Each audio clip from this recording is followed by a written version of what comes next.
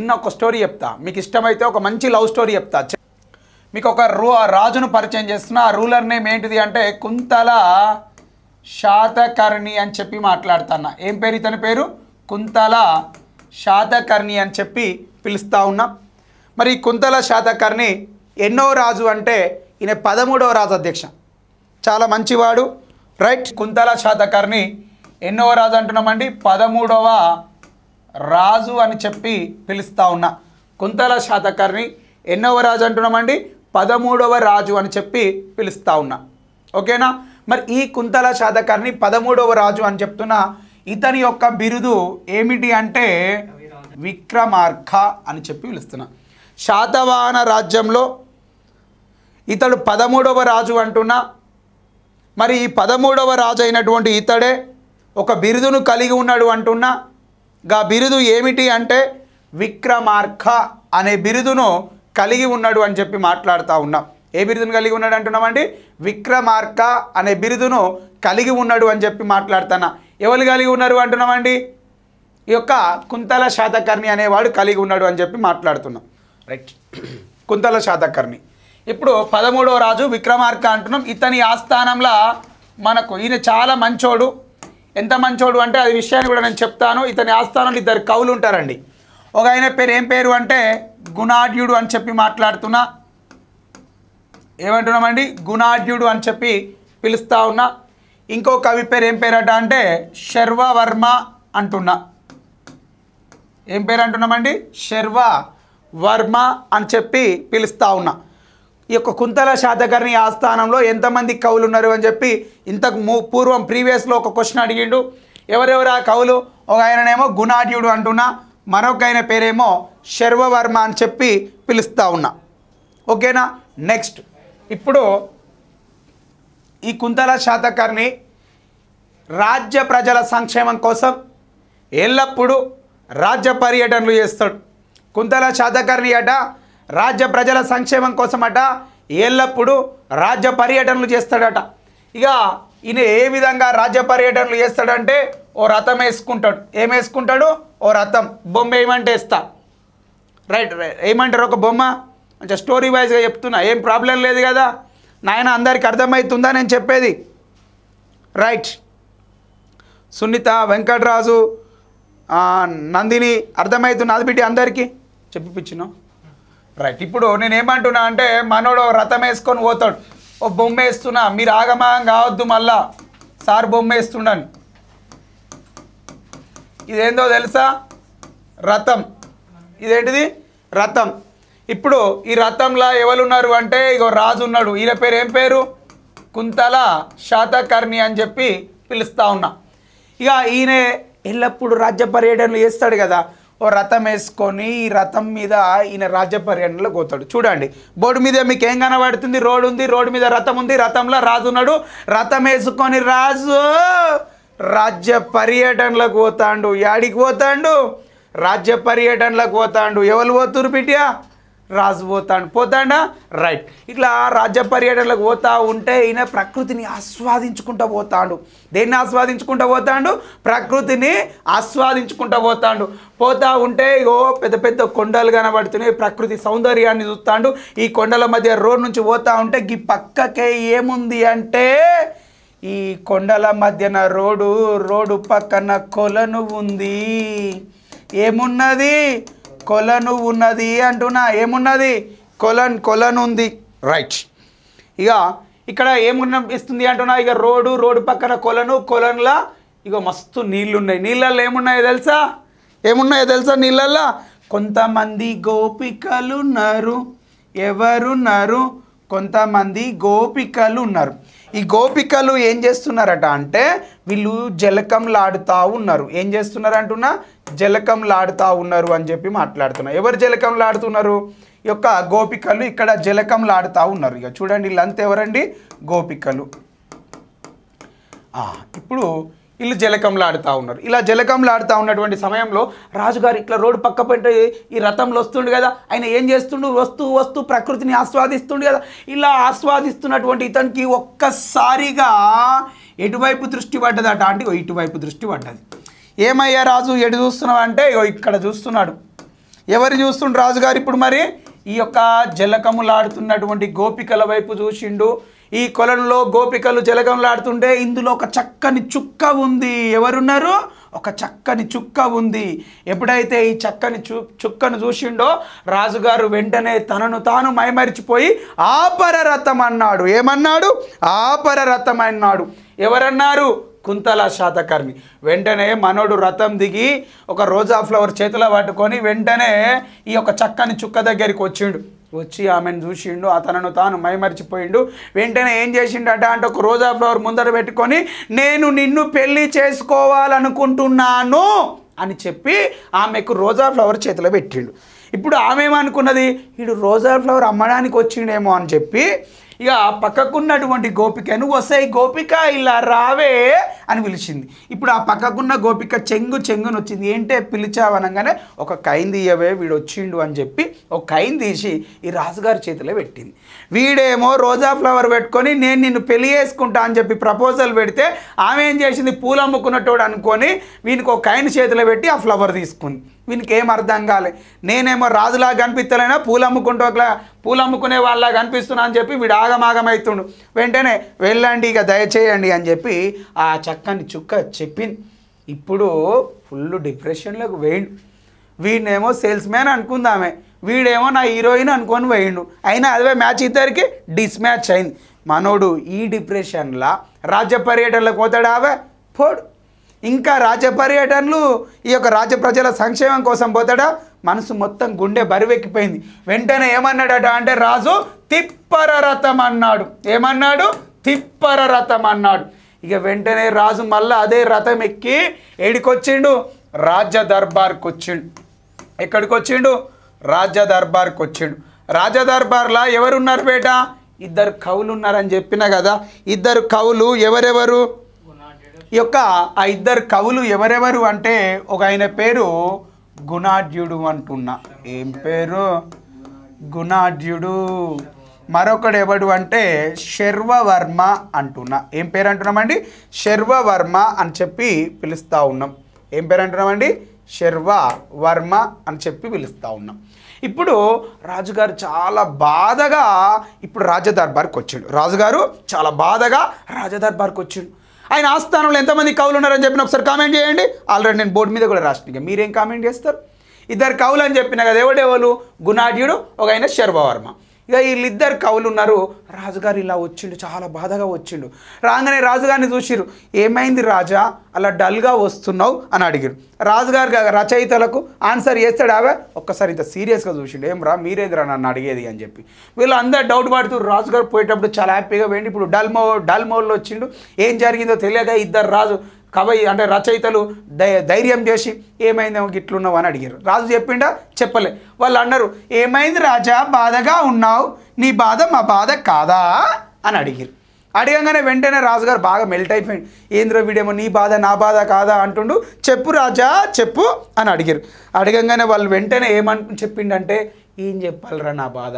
అని చెప్పి వాళ్ళిద్దరిని కూర్చోబెట్టుకొని ఇగో నేను రథం మీద పోయినా ఇక్కడ ప్రకృతిని ఆస్వాదిస్తే ఇక్కడ కొలంలా జలకంలాడుతున్న గోపికలు కనిపించిరా ఆ గోపికల మధ్యన ఒక చక్కని చుక్కు ఉందిరా. ఆమెను నేను ఇష్టపడుతుండ్రా ఆమెను పెళ్ళి చేసుకోవాలనుకుంటున్నా అని చెప్పిండు వీళ్ళందరికీ. ఇప్పుడు వీళ్ళకి చెప్పగానే వీళ్ళు ఏం చేసిరు ఇప్పుడు చెప్పిండు ఇదంతా బాగానే ఉంది. కానీ వానికి రూపాయికి ఆయన ఇచ్చి ఆ రోజా ఫ్లవర్ తీసుకొని వీన్ని ఒక సేల్స్ మ్యాన్ లాగా ట్రీట్ చేసిన ముచ్చట కూడా చెప్పిండు. ఎందుకు అట్లా ట్రీట్ చేసింది అనేది వాళ్ళకు తెలియదు రాజుకు తెలియదు. ఇప్పుడు వెంటనే గుణాఢ్యుడు శర్వవర్మ శరోదిక్కు ఫేస్ పెట్టి తింకుల మీద తింకులు చెప్తారు ఏం జరిగింది మా రాజుగారికి? ఎందుకు ఇలా చెప్పింది ఆమె? ఎందుకు కైన్ ఇచ్చింది అని చెప్పి వాళ్ళు తింకుల మీద తింకులు చేస్తే శర్వవర్మకు ఒక థాట్ వచ్చింది. అవునా? ఏమని థాట్ వచ్చింది అంటే శర్వవర్మకి ఏమని థాట్ వచ్చింది అంటే రాజుగారు మీరు ఇంతకు ఆ గోపిక ఆ రాకుమారికి మీరు ఏమని ప్రపోజ్ చేసిర్రు అని అన్నాడు. నేను నిన్ను పెళ్ళి చేసుకుంటా అని చెప్పిండు. మరి బాగానే చెప్తే ఆమెకి ఎందుకు అర్థం కాలే? ఇంతకు మీరు ఏ భాషలో మాట్లాడిరు అని అడిగాడు. అడగంగానే మనోడు ఏ భాషలో మాట్లాడతాడు? శాతవాహనుల యొక్క రాజభాష ఏమిటి అధ్యక్ష? ప్రాకృతం. మరి సారు గారు ఏ భాషలో మాట్లాడతాడు? ప్రాకృతంలో మాట్లాడతాడు. మరి ఈ రాకుమారి ఎట్లుంది? చక్కని చుక్క very fast lady beauty queen అంటారు ఈమెను ఎంత అద్భుతంగా ఉంది అంటే చాలా ఫాస్ట్ ఉంటుంది కాబట్టి ఈ షీ స్పీక్స్ ఓన్లీ సాంస్క్రిట్ ఈమె సంస్కృత భాష మాత్రమే మాట్లాడుతుంది. ఎందుకంటే అంత మోడర్న్గా ఉంటుంది కాబట్టి ఈ సంస్క్రిట్ మాత్రమే మాట్లాడుతుంది. మానవుడేమో చాలా ప్రాకృతం. పల్లెటూరు కంటే అద్మానం ఉంటాడు. దీనికి ప్రాకృతమే చక్కగా రాదు. ఇక వీడి వైపు ప్రాకృతంలో ఆమెకు ప్రపోజ్ చేస్తే ఆమె సంస్కృతంలో రిజెక్ట్ చేసింది. సో ఇక్కడ వీళ్ళిద్దరి మధ్యలో వీళ్ళు మ్యాచ్ కాకపోవడానికి కారణం ఏమిటి? Language problem. రాజుగారేమో ప్రాకృత భాషలో మాట్లాడతారు రాకుమారి గారేమో సంస్కృత భాషలో మాట్లాడతారు. అంతే కదా? రైట్ ఇక వీళ్ళిద్దరి మధ్యలో ఇలాంటి డిసడ్వాంటేజ్ ఉంది. ఇప్పుడు ఇదే ముచ్చట్ను శర్వవర్మ రాజుగారు నేను మీకు ఈ విధంగా ఎందుకు జరిగిందో ఆ విషయాన్ని నేను కనిపెట్టిన. రాకుమారి మీ కటౌట్ చూసో కంటెంట్ చూసో కన్ఫ్యూజ్ కాలే. ఆమె ఎందుకు కన్ఫ్యూజ్ అయింది అంటే నువ్వేమో ప్రాకృత భాషలో ప్రపోజ్ చేసినావు. ఆమెకేమో ప్రాకృతం రాదు. అందుకే ఆమె కన్ఫ్యూజ్ అయింది. మీరు గనక సాంస్క్రిట్ భాషను నేర్చుకొని ఆమెకు సంస్కృతంలా ప్రపోజ్ చేస్తే ఆమె మిమ్మల్ని యాక్సెప్ట్ చేస్తుంది. ఎవరు చెప్పిర్రు? ఈ యొక్క శర్వవర్మ చెప్పిండు. చెప్పిండా? చెప్పంగానే శర్వవర్మ ఈ ముచ్చ అంతే అంటవారా? భాషనే ప్రాబ్లం ఆరా? నేను ప్రాబ్లం కాదారా అని చెప్పి మనోడు ఫుల్ ఖుషి అయిపోయాడు ఎవడు ఖుషి అయిపోయాడు కుంతల శాతక్. ఇదంతా ఎవల స్టోరీ? కుంతల శాతకర్ణ స్టోరీ. అర్థమవుతుందా ఇదంతా ఎవల స్టోరీ బై? కుంతల శాతకర్ణి స్టోరీ. మళ్ళా సార్ అడిగిండట అవురా బాయ్ మళ్ళీ నాకు సంస్కృతం వస్తుందా? రాదు కదా ఉదయ్. మరి నాకు సంస్కృతం రాదు కారా నువ్వేం ఫికర్ పడక మైగూనా నేను నీకు నేర్పిస్తా సంస్కృట్ అని చెప్పిండు. ఎవరు చెప్పిరు వెంకట్ ఇక్కడ? శర్వవర్మ చెప్పిండు. చెప్పంగానే పక్కకున్నోడు ఎవడే? గుణాఢ్యుడు ఏ ఊకోరా? మన సార్కు ప్రాకృతమే సక్కా రాదు. నువ్వు సాంస్క్రిట్ ఎట్లా నేర్పిస్తావురా? అయితే దారి రాజుతోటి? అరే గుణా నువ్వు ఆగురా అని కుంతల శాతం. ఏ ఊకో సార్ నీతో కాదు. ఆ అమ్మాయి నీకు వర్కౌట్ కాదు. వదిలే అని గుణాఢ్యుడు అంటుండు. శర్వారముండి రాజు నువ్వు ఫికర్ పడక. నేనున్నా. నేను సాంస్క్రిట్ నేర్పిస్తా. ఆ అమ్మాయి నీ దగ్గర తీసుకొచ్చి పెళ్ళి చేపిస్తా అని చెప్తాను ఇవన్నీ కాదురా భయ్ ఇప్పుడు ఎవరు సాంస్కృతి నేర్పిస్తానని అడిగింది శర్వారం ఉండి నేను నీకు సంస్కృతం నేర్పిస్తా అన్నాడు. గుణాఢ్యుడు ఏమన్నాడు అంటే ఇదంతా అయ్యే పని కాదు అన్నాడు. అప్పుడు శర్వారం ఏమన్నాడు అరే ఛాలెంజ్ చేసుకుందాం. ఇప్పుడు నువ్వెంతో నేనెంతో బెట్ పెట్టుకుందాం. నేను సార్కు సంస్కృతం నేర్పి అట్లిట్లా కాదు మరి ఛాలెంజ్ అన్నప్పుడు. ఒక టైం పీరియడ్ పెట్టుకుందాం. ఈ టైం బాండింగ్లోనే నువ్వు సార్కు సంస్కృతం నేర్పితే అప్పుడు లెక్క అన్నాడు. చెప్పరా ఏందో నీ ఛాలెంజ్ అన్నాడు. ఇప్పుడు గుణాఢ్యుడు ఏమన్నాడట అంటే నువ్వు మన కుంతల శాతకర్ణికి ఆరు నెలల కాలంలో సంస్కృతం నేర్పిస్తే ఆరు నెలలు మళ్ళీ ఆరేళ్ళు కాదు. ఆరు నెలల కాలంలో మన సారుకు నువ్వు సంస్కృతం నేర్పిస్తే నేను ఈ రాజ్యాన్ని వదిలేసి ఆ సన్యాసం తీసుకొని అడవులలోకి పోతా అని చెప్పిండు. ఎవరు చెప్పిరు గుణార్జుడు ఛాలెంజ్ చేసిండు. చేయంగానే శర్వారం ఏమన్నాడు? చలో పక్కరా. నేను సార్కు సంస్కృత్ని ఆరు నెలల కాలంలో నేర్పిస్తా అని చెప్పిండు. ఒకవేళ నేర్పించకపోతే ఏంటి? అని అడిగి నువ్వు ఏం ఎక్స్పెక్ట్ చేస్తావు నాకు తెలుసురా? నువ్వేం బాధపడకునా నేను పోతా. నేను అడుగులలో పోతారా? సార్కు సంస్కృతం నేర్పించకపోతే అని చెప్పిండు. ఎవరు చెప్పారు శర్వవర్మ వీళ్ళిద్దరి మధ్యలో ఇప్పుడు ఛాలెంజ్ అనేది వర్కౌట్ అయిందా కాలేదా? వర్కౌట్ అయింది. గేమ్ ముచ్చటను ఇగో మనకు కథా సాగరం అనే పుస్తకంలో రాసిరు ఏ పుస్తకంలో రాసిరు కథా సాగరం అని చెప్పి ఈ యొక్క పుస్తకంలో రాయడం జరిగింది అని చెప్పి మాట్లాడుతున్నా. ఓకేనా? కథా సరిత్సాగరం పుస్తకాన్ని ఎవరు రాసిరు అధ్యక్ష? కథా సరిత్సాగరం అనే పుస్తకాన్ని ఎవరు రాసిరు తెలియదు నాకు నాకేమో అమాయకుని నాకేం తెలియదు. చెప్పాలి. రైట్ అందరికి అర్థమవుతుందా నేను చెప్పేది. అయ్యా అందరికి అర్థమవుతుందా ఈ ఎట్లుండాలి? ఎనిమిది వందల ఇరవై ఎనిమిది కామెంట్లు వస్తే నా సెల్ ఫోన్లో ఛార్జింగ్ అయిపోవాలి. అంత ఫాస్ట్ రావాలి కామెంట్లు. కథా సాగరం పుస్తక రచయిత ఎవరు? ఫాస్ట్ ఇచ్చి పడేయాలి ఇట్లా. తరాలు మారిన ప్రేమలు మారవు మనసుల మీద. అబ్బా ఏం డైలాగ్ పెట్టినావువా ఎవలయాలు పెట్టినోళ్ళు? అది కామెంట్ దొరకలేదు కానీ తో ఫోను. నరసింహులు బాయికాడా నీలో మంచి కవి ఉన్నాడు పో. అవి రాసుకపోయి వాళ్ళకన్నా ఇచ్చావు ఆగమాగం అవుతారు రాయింత రైట్ ఇప్పుడు ఏడుదాకా చెప్పిన సోమదేవుడు కదా ఇది సోమదేవుని యొక్క పుస్తకంలో ఈ ముచ్చట అంతా ఉన్నది. ఓకేనా? ఇప్పుడు వెంటనే ఈ షెర్వార్ ఈ బండి ఈ కాస్ట్యూమ్స్ అన్నీ తీసేద్దాం ఈ లొకేషన్ చేంజ్ చేద్దాం. రైట్ ఇప్పుడు శర్వవర్మ ఏం చేసిండంటే ఒక పలక ఒక బల్పం తీసుకొచ్చి సంస్కృతం నేర్పిస్తుండు. ఆ ఆ అని చెప్పి ఎవరికి నేర్పిస్తుండు? కుంతల శాతకర్ణికి నేర్పిస్తూ ఉన్నాడు అంటున్నాం. ఏ విధంగా నేర్పిస్తున్నాడు? రోజుకో పేపర్ తీసుకొచ్చి పేపర్ మీద ఆ ఆ అని చెప్పి సంస్కృత భాషను నేర్పిస్తుండు. ఎవరికి నేర్పిస్తుండు బేట? కుంతల శాతకర్ణికి ఈ విధంగా ఆరు నెలల కాలం గడిచేసరికి కుంతల శాతకర్ణి శర్వవర్మ యొక్క విజ్ఞానంతో సంస్కృతాన్ని నేర్చుకున్నాడు. సో అలా రాసిన పేజీలన్నీ ఒక దగ్గర తీసుకొని క్లబ్ చేసి బైండింగ్ చేస్తే అదే ఒక బుక్ అయింది. ఆ బుక్నే నేను ఏమంటున్నా అంటే కాతంత్ర వ్యాకరణం అని చెప్పి పిలుస్తున్నా. ఏమని పిలుస్తున్నా? కాతంత్ర వ్యాకరణం అని చెప్పి పిలుస్తున్నా. సుశీరా బుక్ రెడీ అయిపోయింది ఇక్కడ. రైట్ కాతంత్ర వ్యాకరణం సారు కాతంత్ర వ్యాకరణం పుస్తకాన్ని ఎవరు రాసిరు అని అడుగుతున్నా. ఈ కాతంత్ర వ్యాకరణం అనే పుస్తకాన్ని ఎవరు రాసిరు అంటే శర్వవర్మ గారు రాశారు అంటున్నా. ఎవరు రాసిరు? శర్వవర్మ గారు రాశారు. ఏ భాషలో రాశాడు? సంస్కృతంలో రాసిండు. ఏ భాషలో రాసిండు? సంస్కృతంలో రాసిండు అంటున్నా. దేని రాసిండు? ఈ యొక్క కాతంత్ర వ్యాకరణం అనే పుస్తకాన్ని రాసిండు. ఇప్పుడు కాతంత్ర వ్యాకరణం అనే పుస్తకాన్ని ఎందుకు రాసిండు అని క్వశ్చన్ అడిగితే కుంతల శాతకర్ణికి సంస్కృత భాష విజ్ఞానాన్ని తెలియజెప్పడం కోసం ఈ పుస్తకాన్ని రాయడం జరిగింది. ఈ పుస్తకం ద్వారా మనం ఏం తెలుసుకుంటున్నాం? శాతవాహనుల కాలంలో సంస్కృత విజ్ఞానం పెంపొందించబడ్డది. మరి ఈ పుస్తకం ద్వారా నేను ఇంకా ఏం తెలుసుకున్నాను అంటే కుంతల శాతకర్ణి కాలంలో ఏ భాషా సాహిత్యం అభివృద్ధి చెందింది అంటే సంస్కృత భాషా సాహిత్యం అభివృద్ధి చెందినది అంటున్నా. ఎవరి కాలంలో?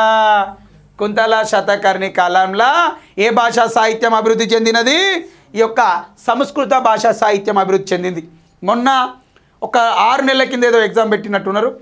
ఒక ప్రీవియస్ ఎగ్జామ్లో ఏమని క్వశ్చన్ అడిగిండట అంటే కుంతల శాతకర్ణి కాలాన్ని ఏ యుగంతో అంటే సంస్కృత భాషా సాహిత్యాన్ని అంటే నేనే చెప్తాను దీని ఆన్సర్ కూడా రివీల్ చేసిన. కుంతల శాతకర్ణి కాలాన్ని సంస్కృత భాషకు సంబంధించి ఏమని పిలిచిరట అంటే స్వర్ణయుగం అని చెప్పి పిలిచిరు. ఏ శాతవాహన రాజు కాలాన్ని సంస్కృత భాషా సాహిత్యానికి సంబంధించి స్వర్ణయుగము అని చెప్పి పిలిచినాం అని క్వశ్చన్ అడిగిండు. ఏ యుగాన్ని? ఈ యొక్క స్వర్ణయుగం అని చెప్పి ఎవరి కాలంలో పిలిచినాం? కుంతల శాతకర్ణి కాలాన్ని. అర్థమైందా? నేను చెప్పింది కుంతల శాతకర్ణి కాలంలో సంస్కృత భాషా సాహిత్యం అభివృద్ధి చెందినది. కావున ఇతడి కాలాన్ని సంస్కృత భాషా సాహిత్యానికి సంబంధించి స్వర్ణ యుగము అని పిలిచినాం. ఏమని పిలిచినాం? ఏ భాషా సాహిత్యాన్ని? సంస్కృత భాషా సాహిత్యాన్ని. ఎవరి కాలంలో డెవలప్ అయింది? కుంతల శాతకర్ణి. కుంతల శాతకర్ణి ఎన్నో రాజు? రైట్ ఒకసారి చెప్పాలే. కుంతల శాతకర్ణి ఎన్నో రాజు? యొక్క పదమూడవ రాజు అంటున్నా ఇతడి యొక్క బిరుదు ఏమిటి అంటున్నా విక్రమార్క అని చెప్పి పిలుస్తూ ఉన్నాం. ఏమని పిలుస్తున్నామండి? విక్రమార్క అని చెప్పి పిలుస్తూ ఉన్నాం. మీరు రాజు నంబర్ రాయాలి ఆయన యొక్క బిరుదు టైప్ చేయాలి నేను ఏదైనా క్వశ్చన్ అడిగితే టక్క టక్క ఇచ్చి పడేయాలి. ఎందుకంటే మీ మెమొరీలో నేను మొత్తం ఫీడ్ చేస్తాను ఆ సబ్జెక్ట్ని. ఓకేనా? మనము సబ్జెక్ట్ అనేది ఇంజెక్ట్ చేయడమే ఇక్కడ ఇంపార్టెంట్. రైట్? సో ఈ విధంగా ఈ స్వర్ణయుగం అని పిలువబడ్డది సంస్కృత భాష సాహిత్యం ఇతడి కాలంలో.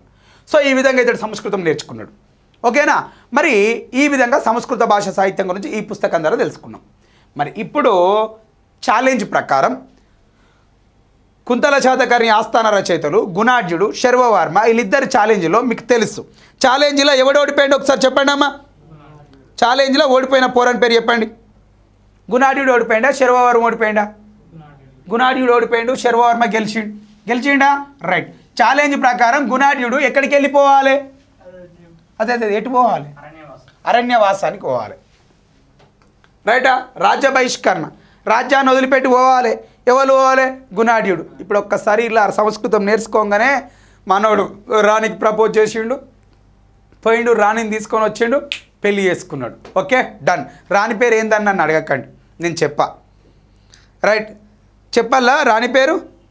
పెళ్ళయింది అయిపోయింది పెళ్ళి చేసుకున్నాడు యాక్సెప్ట్ చేసిండు ఇప్పుడు గుణార్జుడు. గుణార్జుడు ఏం చేయాలి? ఓడిపోయిండు ఫాలెన్ ఛాలెంజ్లా కాబట్టి అరణ్యవాసం అజ్ఞాతవాసం పోవాలి. పోతాండి ఇక. ఈ గుణార్జుడు చాలా బాధ కొద్ది ఓ రెండు బ్యాగులు వేసుకొని ఇక పుస్తకాలు పట్టుకొని ఓ పలక బలకం పట్టుకొని బాధ కొద్ది పోతాండు ఏడ్చుకుంటా. ఎవరు పోతాండ్రు? గుణార్జుడు పోతాండు. పోతాడు నాడే? పోతాడు. పోతూ పోతూ ఈయన ఏమనుకున్నాడట అంటే గాడు ఇంట్లో రాజదర్బార్లో కూర్చొని ఆడు బుక్ రాసిండు నాకేం తక్కువ నేను కూడా బుక్ రాస్తా అనుకుంటా ఈయన కూడా పోయిండు శైలో సంచి పట్టుకొని అని వైలు పట్టుకొని. ఇక పుస్తకాలు పట్టుకొని ఇట్లా పోతా పోతా ఉంటే ఈయనకు మస్తు ఫ్రస్ట్రేషన్ ఉంది.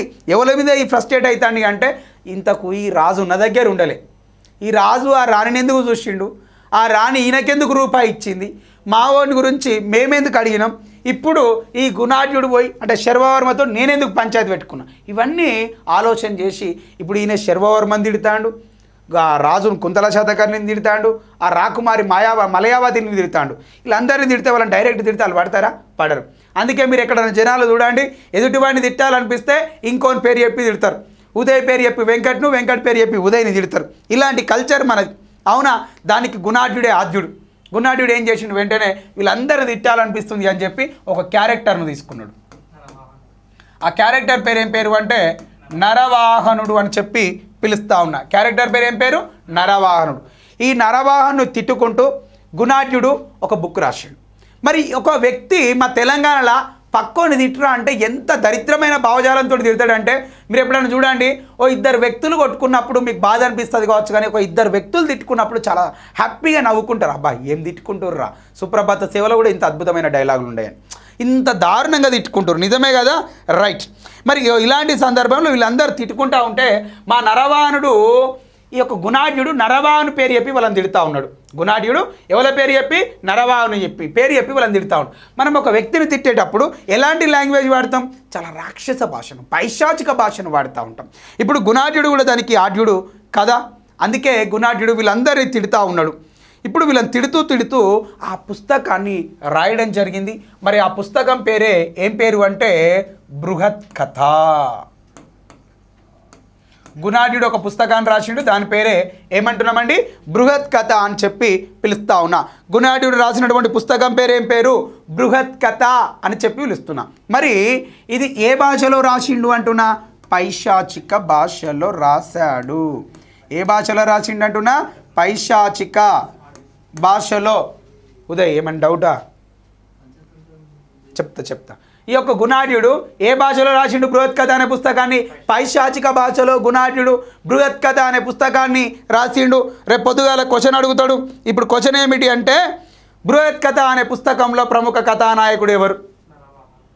బృహత్ కథ అనే పుస్తకంలో ప్రముఖ కథానాయకుడు ఎవరు అని చెప్పి నేను అడుగుతా ఉన్నా మీకు సాధ్యమైతే ఆన్సరే చేయండి. నేను ఇంకో ఆన్సర్ చేస్తా. బృహత్ కథ అనే పుస్తకంలో ప్రముఖ కథానాయకుడు ఎవరు అని చెప్పి నేను అడుగుతున్నా. ఎవరు అంటే ప్రముఖ కథానాయకుడు ఇక ఇక్కడే ఉన్నాడు చూడండి. హీరో హీరో ఎవరు హీరో? నరవాహనుడు. వాళ్ళందరినీ తిట్టాలంటే వీడు భరించాలి కదా. అందుకే ఈయన పేరు పెట్టి వాళ్ళందరినీ తిట్టాడు. మరి తిట్టినటువంటి తిట్లన్నీ ఇగో ఇందులో ఉన్నాయి. ఒక ఇద్దరు వ్యక్తులు తిట్టుకుంటే చాలా నవ్వు వస్తుంది అని చెప్పిన కదా. అందుకే ఈ బృహత్ కథ అనే పుస్తకాన్ని నేను ఏమంటున్నా అంటే హాస్య కథల సంపుటి. ఏమంటున్నా? హాస్య కథల సంపుటి అని చెప్పి పిలుస్తా ఉన్నా. దేన్ని హాస్య కథల సంపుటి అని చెప్పి పిలుస్తున్నా? బృహత్ కథ అనే పుస్తకాన్ని నేను ఏమని పిలుస్తున్నాను అంటే హాస్య కథల సంపుటి అని చెప్పి పిలుస్తా ఉన్నా. దేన్ని పిలుస్తున్నా? బృహత్ కథ అనే పుస్తకాన్ని హాస్య కథల సంపుటి అని చెప్పి పిలుస్తూ ఉన్నాం. మరి ఈ పుస్తకం ఈ యొక్క గుణాఢ్యుడు రాసినటువంటి ఈ ముచ్చట గురించి చెప్పింది బృహత్ కథ గురించి. మరి ఈ బృహత్ కథలో మనకు ఏంది స్పెషల్ అంటే మొట్టమొదటిసారిగా బృహత్ కథ అనే పైశాచిక భాషలో రాసినటువంటి ఈ పుస్తకంలో తెలంగాణ మాండలికాలు వినియోగించిర్రు. ఏం వినియోగించిర్రు అంటున్నా? తెలంగాణ మాండలికాలను వినియోగించిర్రు అంటున్నా. ఇంతకు ముందుకు గాథా సప్తశతి అని ఒక పుస్తకం చెప్పిన. గాథా సప్తశతి పుస్తకంలో తెలుగు భాష మాండలికాలు వినియోగించిర్రు అని చెప్పిన. ఆ తెలుగు భాష మాండలికాలనే ఆ తెలుగు భాష పదాలనే నేను ఏమని పిలిచిన? రైట్ ఇప్పుడు మీరు చెప్పాలి మీకు ఛాన్స్ చెప్పండి మీ అందరితో ఎవరితో ఇంటరాక్ట్ అవుతలేను కదా నేను? చెప్పండి. రైట్ ఆ తెలుగు భాష పదాలను ఏమని పిలుస్తారు అని చెప్పిన నువ్వేమో డైరెక్ట్ ఎగ్జాంపుల్స్ ఇస్తున్నావు ఏం చేద్దాం? ఇద్దరం కలిసి డిపాజిట్ చేద్దామా? బ్యాంక్ లాకర్లో చెప్ దేశీ పదాలు అని చెప్పి పిలుస్తారు. వెరీ గుడ్ అమ్మా. చాలామంది ఆన్సర్స్ ఇచ్చారు దేశీ పదాలు అని చెప్పి పిలుస్తాం. ఆ దేశీ పదాలు ఎన్ని దొరికినాయి అంటే నలభై దొరికినాయి. అవేమిటి అంటే అత్త అందం దమ్ అడ్డం పొట్ట దుత్త గిద్ద బస్. ఇవి గాథా సప్తశతిలో దొరికినాయి అని చెప్పి మాట్లాడుతూ ఉన్నాం. రైట్? ఇకపోతే మరి ఇక్కడ మొదటిసారిగా ఈ పుస్తకంలో మనకు ఏం దొరికినాయట అంటే తెలంగాణ మాండలికాలు. తెలంగాణ మాండలికాలను వినియోగించిండు అంటున్నా. ఎవడు వినియోగించిండు? ఈ యొక్క గుణాఢ్యుడు తెలంగాణ మాండలికాలను దీంట్లో వినియోగించిండు. అందుకే ఈ పుస్తకాన్ని ఈ యొక్క ఏమని పిలుస్తా అంటే ఈ బృహత్ కథ అనే పుస్తకాన్ని ఈయన తెలంగాణ మాండలికంలో రాశాడు కాబట్టి మా గుణాఢ్యుడిని నేను ఏమంటున్నాను అంటే తొలి తెలంగాణ కవి అని చెప్పి పిలుస్తా ఉన్నా. ఏమని పిలుస్తున్నా? తొలి తెలంగాణ కవి అని పిలుస్తున్నా. ఏమని పిలుస్తున్నా? తొలి తెలంగాణ కవి. అని పిలుస్తున్నా. ఎవరిని పిలుస్తున్నా? గుణాఢ్యుడిని రైట్ ఇప్పుడు తొలి తెలంగాణ కవి అని ఎవరిని పిలుస్తున్నాం? తక్కన ఆన్సర్ చెప్పాలి. తొలి తెలంగాణ కవిగా ఎవరిని పరిగణిస్తున్నాము అంటే గుణాఢ్యుడిని పరిగణిస్తున్నాం. ఎవరిని పరిగణిస్తున్నామండి? గుణాఢ్యుడిని ఏమని పరిగణిస్తున్నామండి? తొలి తెలంగాణ కవి అని చెప్పి పరిగణించడం జరుగుతూ ఉంది అంటున్నాం. ఓకేనా? నెక్స్ట్ ఇకపోతే ఒకటే క్వశ్చన్ అడుగుతా. మీరు దీనికి మీరు అంతా ఆన్సర్ చేయాలి. ఆన్సర్ చాలా అద్భుతంగా చాలా ఫాస్ట్గా చేయాలి. సెకండ్స్ ఆఫ్ టైంలో నాకు థౌజండ్ కామెంట్స్ రావాలి. క్వశ్చన్ ఏమిటి అంటే తొలి తెలంగాణ తెలంగాణ ఆది కవి అని ఎవరిని పిలుస్తున్నాం? రైట్ తెలంగాణ ఆది కవి పాల్కురికి సోమనాథుడు అని చెప్పి పిలుస్తున్నా. ఏమంటున్నామండి పాల్కురికి సోమనాథుడు అని చెప్పి పిలుస్తూ ఉన్నాం. రైట్ ఇకపోతే నెక్స్ట్ ఈ గుణాఢ్యుడు మరి ఈ యొక్క బృహత్ కథ అనే పుస్తకాన్ని రాసిండు. అది పైశాచిక భాషలో అని చెప్పినాం కదా. ఈ బృహత్ కథ అనే పుస్తకం ఆధారంగా మనకు కొన్ని పుస్తకాలు రాయబడ్డాయి. బృహత్ కథ అనే పుస్తకం ఆధారంగా మనకు కొన్ని పుస్తకాలు రాయబడ్డాయి. మరి దాని ఆధారంగా వచ్చినటువంటి పుస్తకాలు ఏమిటి? బృహత్ కథ ఆధారంగా వచ్చినటువంటి పుస్తకాలు. ఏమంటున్నామండి? బృహత్ కథ ఆధారంగా వచ్చిన పుస్తకాలు అని చెప్పి బృహ- బృహత్ కథ ఆధారంగా వచ్చిన పుస్తకాలు అంటున్నా. ఏమేం పుస్తకాలు వచ్చినాయట అంటే ఒకటి ఏమిటి అంటున్నా? ఈ యొక్క పంచతంత్ర కథలు. ఏమంటున్నా? పంచతంత్ర కథలు అని చెప్పి పిలుస్తా ఉన్నా. ఏమని పిలుస్తున్నాం సారు? పంచతంత్ర కథలు అంటున్నాం సారు. మరి పంచతంత్ర కథలతో పాటుగా మరొక పుస్తకం కూడా వచ్చింది. అదేమిటి అంటే బృహత్ కథ మంజరి. ఏమంటున్నా? బృహత్ కథ మంజరి. ఇంకా ఏమైనా పుస్తకాలు వచ్చినాయా? బుద్ధ కథ శ్లోకం. ఏమంటున్నా? బుద్ధ కథ శ్లోకము అని చెప్పి పిలుస్తా ఉన్నా. ఏమంటున్నామండి బుద్ధ కథ శ్లోకము అని చెప్పి పిలుస్తా ఉన్నా. ఏమంటున్నాం అధ్యక్ష బుద్ధ కథ శ్లోకము అని చెప్పి పిలవడం జరుగుతూ ఉంది. ఏమైంది ఉదయ్? ఈ యొక్క బృహత్ కథ అనే పుస్తకం ఆధారంగా ఎన్ని పుస్తకాలు వచ్చినాయి వెంకట్? మూడు పుస్తకాలు వచ్చినాయి. ఏంటి ఏంటి అంటున్నా? ఈ యొక్క పంచతంత్ర కథలు బృహత్ కథ మంజరి బుద్ధ కథ శ్లోకం. ఈ యొక్క ఈ పుస్తకాలన్నీ ఈ యొక్క బృహత్ కథ ఆధారంగా వచ్చినాయి. మరి నా క్వశ్చన్ ఏమిటి అంటే పంచతంత్ర కథల ఈ పుస్తక రచయిత ఎవరు అని చెప్పి నేను అడుగుతున్నా. పంచతంత్ర కథలు పుస్తక రచయిత ఎవరు అని చెప్పి నేను అడుగుతా ఉన్నా. ఎనీవన్ ఆన్సర్ చేయొచ్చు. రైట్ పంచతంత్ర కథలు పుస్తక రచయిత ఎవరు? చక్రధారి చక్రాన్ని ఏలుపైన ధరించిన వారు ఎవరు? విష్ణు. పంచతంత్ర కథలు పుస్తక రచయిత ఎవరు అన్నప్పుడు విష్ణు శర్మ అని చెప్పి మాట్లాడుతున్నాం. పంచతంత్ర కథలు ఈ యొక్క పుస్తక రచయిత ఎవరు అంటే విష్ణు శర్మ అని చెప్పి మాట్లాడుతున్నాం. మరి ఈ యొక్క బృహత్ కథ మంజరి పుస్తక రచయిత ఎవరు అన్నప్పుడు క్షేమేంద్రుడు. అంటున్నా. ఏమంటు ఎవరు అంటున్నా? క్షేమేంద్రుడు. బుద్ధ కథ శ్లోక పుస్తక రచయిత ఎవరు అన్నప్పుడు? బుద్ధ స్వామి అంటున్నా. ఏమంటున్నామండి? బుద్ధ స్వామి అని చెప్పి పిలుస్తూ ఉన్నాం. రైట్ చూసారా? ఏమేం పుస్తకాలు చెప్పిన? బోర్డు మీద ఉన్న పుస్తకాలు చెప్పిన. పంచతంత్ర కథలు విష్ణు శర్మ.